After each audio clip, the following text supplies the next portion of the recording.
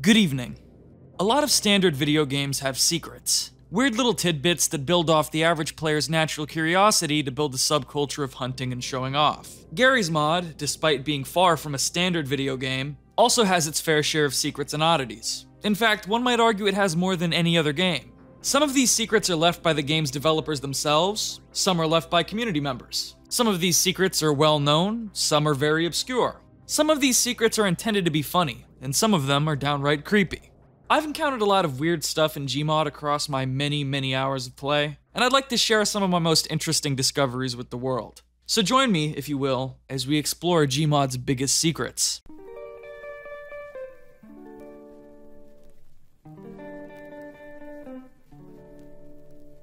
First, let's have a look at the maps. You probably know that on its own, Garry's Mod only comes with two maps, those being GM Construct and GM Flatgrass. Both of these maps have interesting details that people might consider Easter eggs, but perhaps the most celebrated Gmod secret appears in GM Construct. If you boot up this map and crouch underneath the walkway beside the brick warehouse building here, then crouch through a hidden crawlway to the right of the Lambda locator insignia, you'll be let into the secret credits room. Inside contains a sign listing the map's contributors, Colton Rape, Garry Newman, Grossel, Hidden Mist, Max of S2D, and Stinger 21.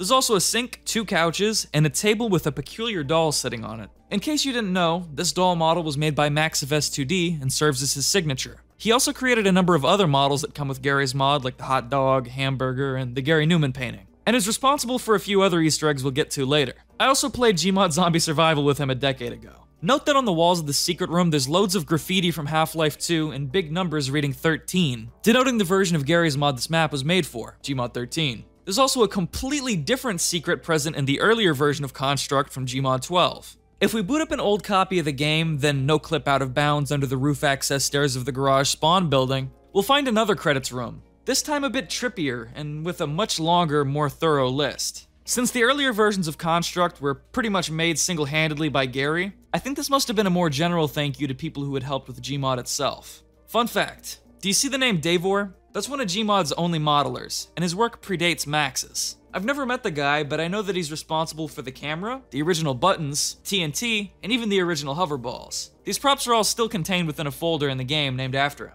I'm sure some guy in the comments will recognize a few more of these names on the wall and probably share some more insight about some of Gmod 13 Construct's creation, but for now, let's move on to Gmod's only other official map, Flatgrass. For a big chunk of Garry's Mod's life, Flatgrass was straight up just a field and a void with a tiny concrete block in the middle. But when the map was remade for Gmod 13, it was expanded, brightened up a bit, and fitted with an all-new 3D skybox to make it look a little bit more like an actual location. It was also given some new, interesting details. No clipping into the side of the main, uh, arch structure. No clipping into the side of the main structure reveals another secret room with Max of S2D's secret signature doll in it. Though this time it's stationary and can't be removed without some technical console shenanigans. Because this room is way more vacant than the Construct one and is also pretty much impossible to access without no clip, it's always been a lot less popular. But I think it still serves its purpose as a good place for admin sets. Another intriguing thing of note about Flatgrass is that with a closer look at the skybox, we can spot the silhouette of GM Construct in the distance. This implies the two are in close proximity. Ain't that neat? Before we move on, I want to give some honorable mentions to the secrets that appear in Counter-Strike source maps, since they're popular picks for game modes like Prop Hunt and Trouble in Terrorist Town. There's this secret inaccessible room on Piranesi that has a meticulously handcrafted brushwork giraffe, this Turtle Rock barn and CS Militia's skybox, and a room far, far out of bounds of CS Assault that features nothing but a lone boot People to this day still have pretty much no clue why the boot and giraffe rooms were added, and I find them fascinating. There's more quote unquote official secrets in Garry's mod that I'm going to share a little bit later down the line. But first, I want to share some big secrets from famous community maps.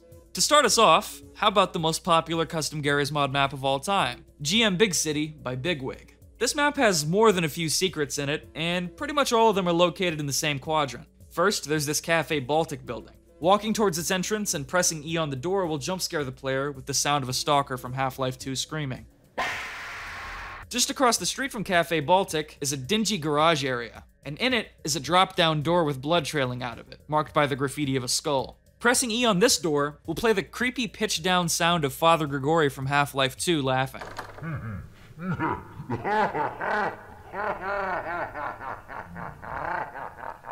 I could have sworn there was another stage of this secret wherein if you spammed the door too much, you would for just a moment be transported to a replica of the same room with a body hanging from the ceiling. But I haven't been able to replicate that or find any evidence of it. There's a good chance that what I'm remembering happened on one of the many edits of Big City, but I'm not sure. Maybe some guy in the comments will know what I'm talking about. Or maybe I'm just crazy. The last real secret in Big City is also nearby Cafe Baltic. If you drop down off this ledge, or follow through this long alleyway to avoid fall damage, you can access a tunnel that leads to a weird red industrial hallway. Following that through will lead you to a set of ominous doors. Pressing E on these will teleport you to a secret room overlooking the spawn area. How?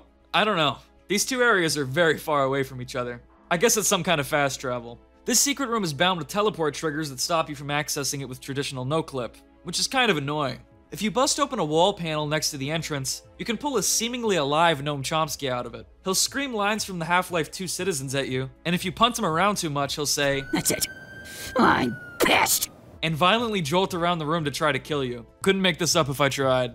One thing I find funny about this room is that it kinda resembles the secret room in Gmod 13's construct, with the scuffed up posters on the wall and all. The thing is that Big City predates Gmod 13 by multiple years, so I like to think that in a weird roundabout way, Big City was an inspiration to Gmod's devs. Big City also has a few other areas that aren't quite secret but are definitely obscure. The first place that comes to mind is this sniper spot that gives you a clear vantage point of the whole spawn area, and this little bunker in the canals with nothing in it. Also, I've never actually seen a server hosting GM Big City improved, but I do know that it adds another secret room in the corner of the map opposite the Cafe Baltic building. How about GM Atomic? Yeah, you remember this? One of the first videos on my channel was about this map.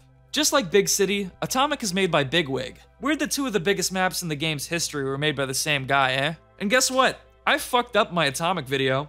I didn't actually understand the map's secret. See, there's a secret room underneath the outhouse behind the gas station, protected by bounding teleport brushes just like the secret room in Big City. To get footage of it in my original video, I just rammed a camera through the toilet to get a look inside. But as it turns out, you're supposed to take this familiar garden gnome that you can find in a hidden vent in the map's underground bunker, and then shove that down the outhouse toilet hole to properly access the secret. At this point, the gnome will start screaming because he's covered in feces, and you'll be granted legitimate access to the secret room. And I know I already mentioned it in my Atomic video, but for those who might not have seen it, this text on the wall is a reference to Gary's Goons, the now defunct official Gmod server of the Something Awful forums. I actually have something else really interesting to share with you guys about Atomic. There's a secret on this map that's so obscure that no source on the internet seems to have ever documented it. Let me explain. Bigwig left a comment on my GM Atomic video mentioning that there's a secret way back into the spawn room involving trains. I had no idea what he was talking about, and neither did any of my friends. Decompiling the map revealed to us that if you go to this destroyed train on the border of the map and interact with it in just the right spot, it does indeed teleport you back to the map spawn area. Now, I know some guy in the comments is gonna say, oh, well, I knew about that. But I've played on this map for countless hours and I never knew about it. There's no videos on YouTube I could find documenting it.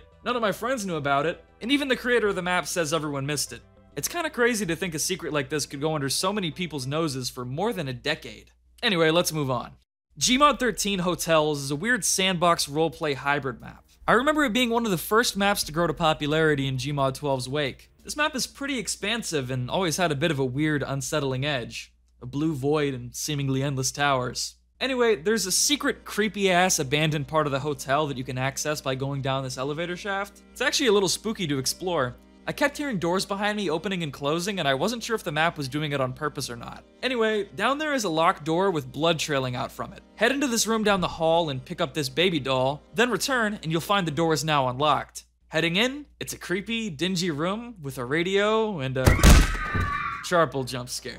But wait, there's more! This map also makes frequent use of the same lambda locator insignia seen in the construct credits room, and it denotes that whatever room it's in has a breakable surface. There's a bunch of these all around the map, and I'd recommend exploring it yourself. The one that's most notable, however, is this floor, which collapses into a series of tunnels. Explore them far enough, and you'll come across a campfire, which reveals to the player via text on screen the legend of a rat man dwelling in the Dark Pit. If we head over to this aforementioned Dark Pit, and either no clip or prop surf into this hole in the wall, we'll be first granted more exposition about how the rat man escaped prison in 1984 and has been living in these tunnels since, and then we'll come face to face with the man himself. He's an invincible stalker NPC from Half-Life 2, stilting around and occasionally shrieking. We can also come across his little hideout with his mattress and radio. Humble living. You can hear this guy's noises throughout the entirety of the tunnels, by the way, it sucks. This map has a lot of other weird secrets, like a locked administrator room with buttons that display the map maker's name and blow up the lower floor of the hotel, but none of them are as intriguing as the Ratman one, so for the sake of time, I'm gonna move on. Branching away from the outwardly intentionally spooky stuff and more into regular oddities, the roleplay map Evo City has a cave that, upon entering, will reliably crash your game. In fact, it'll crash the whole server you're on. Admins used to have to board this area up to stop griefers from accessing it. Is this even intentional? Who knows? Old school players will remember Free Space, which is a hallmark map in Garry's Mod's history with tons of versions. The original builds don't have much that resemble a secret outside of developer contact info, but in the popular Gmod 13 remake, there's a very peculiar Easter egg. Head to the town on the outskirts of the map, hop on top of this building and press E on the chimney, then look off to the forest.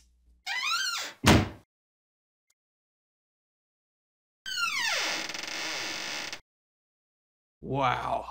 Okay, all those community map secrets are fine and dandy, and I'm hoping at least some of you guys found them interesting, but I promised more official secrets. What happened to that? Let's start off simple. Garry's Mod has an achievement called Secret Phrase. Open up or join any game and type in chat Bloxwich. If you didn't know, Bloxwich Hall is where Facepunch Studios' offices used to be located in England. In Gmod 12, the secret phrase was Rusty Bullet Hole. That was simply a bizarre and obscure slang for butthole. I have never heard this slang, but maybe it's a British thing.